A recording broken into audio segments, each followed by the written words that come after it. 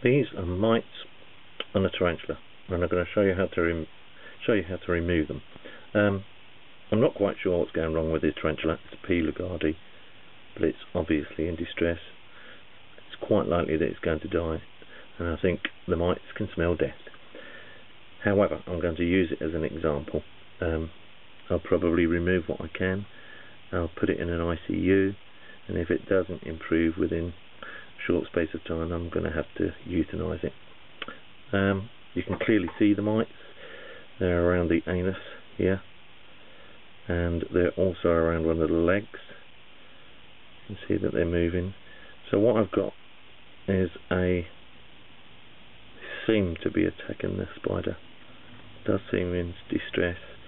Um, I've got an earbud and I've covered the earbud with Vaseline.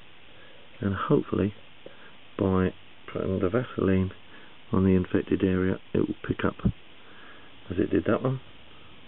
The mites. Um, there we go. You can see that they're clearly coming off because their mites become attached to the Vaseline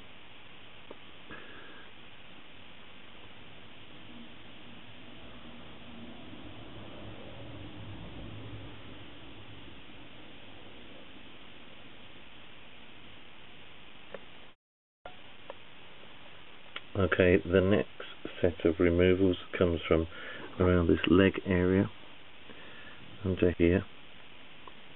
You can see some hanging on the side of the abdomen.